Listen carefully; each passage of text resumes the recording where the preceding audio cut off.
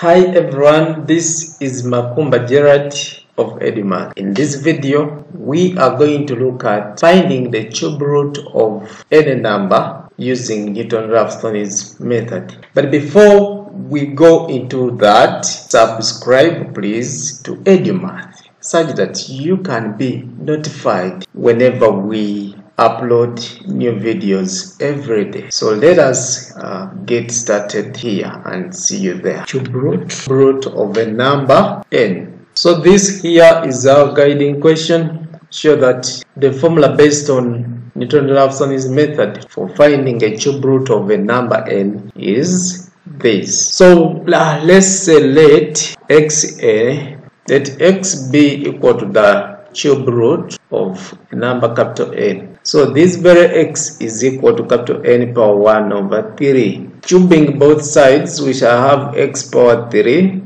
being equal to capital N. Then x power 3 minus n equal to 0. Then we say let f of x be equal to 0. This means that f of x is as well being equal to x power 3 minus capital N.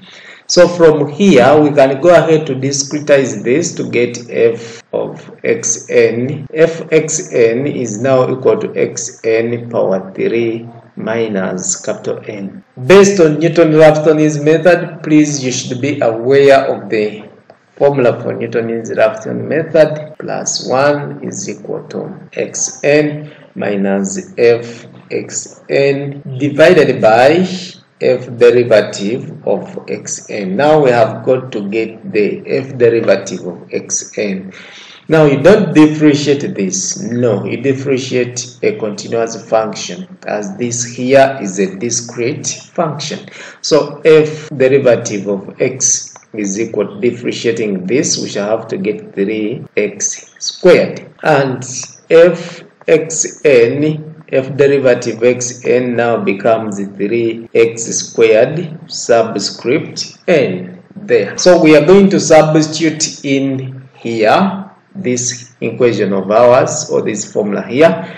So right there we shall have xn plus 1 is equal to xn minus f fxn is here xn power 3 minus capital N everything divided by 3xn squared. So we need to simplify this by getting the LCM here. LCM is 3xn squared. 3xn squared divided by 1 here we get this very one times that we shall have 3xn power 3 minus 3xn times divided by 3xn squared. 3xn squared divided by 3xn squared we get 1 times the whole of that. We shall have to get xn power 3 now plus n. This will reduce and we shall have 2xn squared power 3 plus 1 plus n divided by 3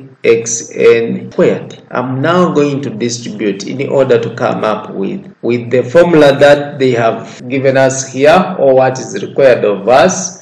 I'm going to distribute the denominator. I'm going to distribute the denominator. When we distribute here the denominator, we shall have to get 2 x power 3 because this is n here uh, divided by 3 xn squared plus capital N divided by 3xn squared. Next, I'm going to pull out the common factor in the denominator. So I will have to get a third out. Now I can reduce that and have here xn plus capital N because this is a 2 here, there is a 2 here. Capital N all over xn squared. So here, small n is equal to 0, 1, 2, and they continue. This here is xn plus 1. So this is the new the formula for finding the cube root of any number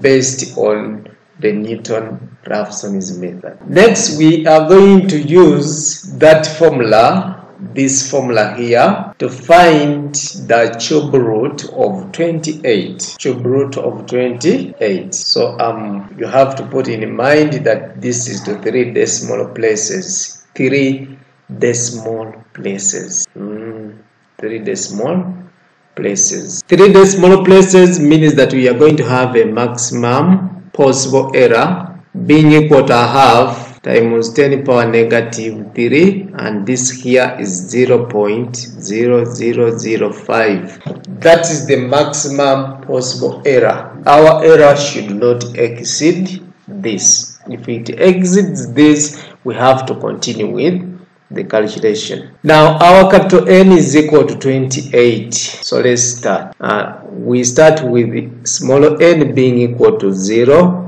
we shall have x1 being equal to a third into bracket. I will have to x naught plus uh, 28 all over x naught squared. But what is x naught? We know that cube root cube root of 28 lies between 3 and 4 so from here we can be able to get x naught which is the average of 3 and 4 so x naught is just equal to 3.5 so we are going to put here our x naught to get x1 so we now have x1 being equal to a third into bracket 2 times 3.5 plus we have 28 divided by 3.5 squared. So when we compute very well on our calculator, x1 is going to be equal to 3.0952. Before we continue,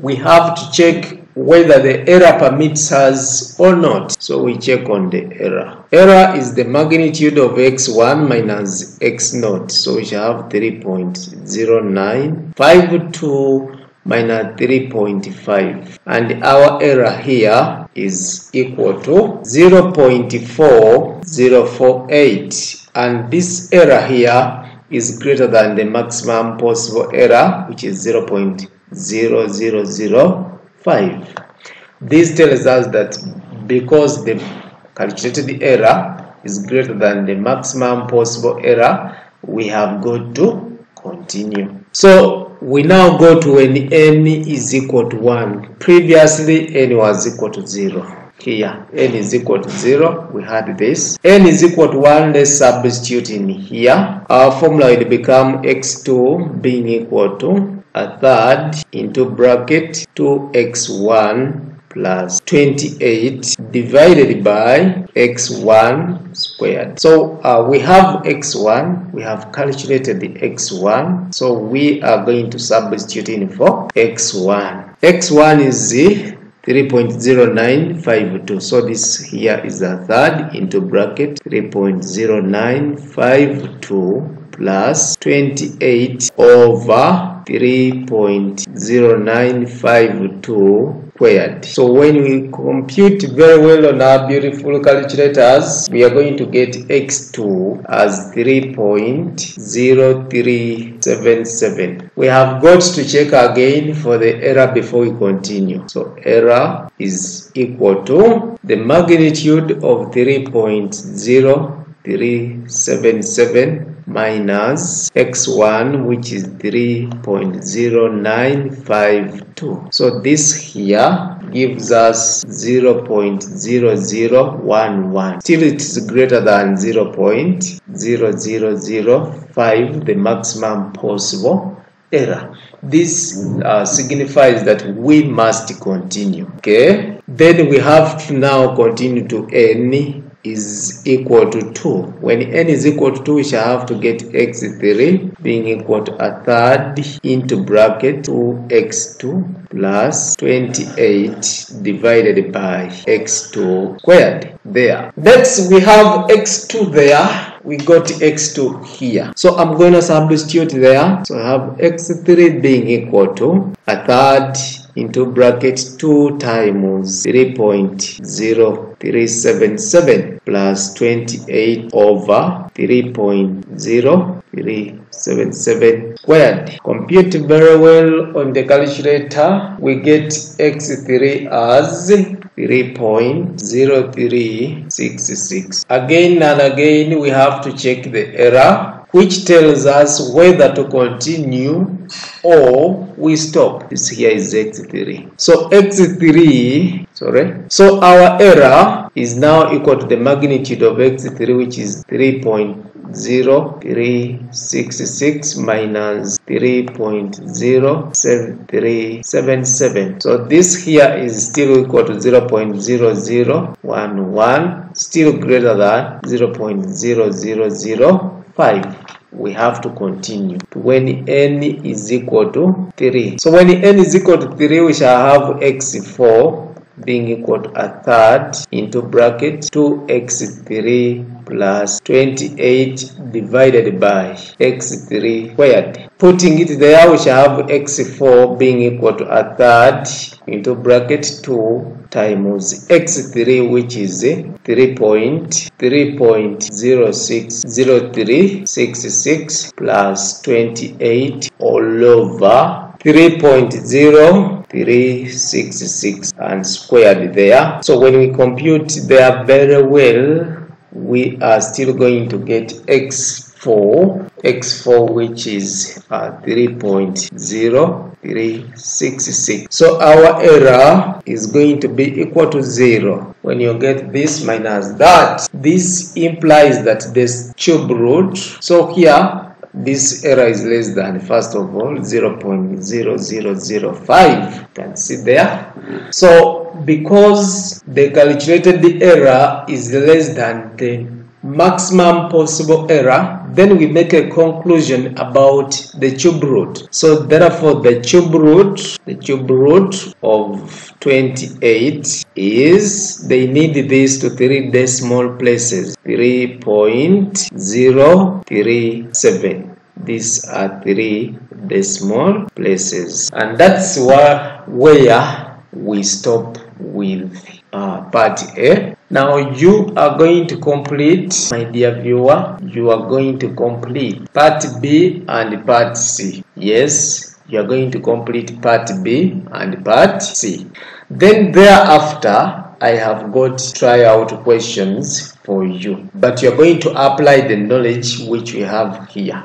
So you're going to find the formula for the fourth root and the fifth root and the questions are so we are going to try this set of questions here. This here is about the fourth root and this here is about the fifth root please i beg that you be honest enough to move with me. So once again i want to thank you for being part of my audience and do not forget to subscribe to Edumath because we are going to be availing more and more videos of mathematics here. So once again, I want to thank you for being part of my good audience. Keep on doing math because it is only through doing math that we learn math. Thank you very much for attending. Please don't forget to subscribe. Don't forget to tell a friend about this channel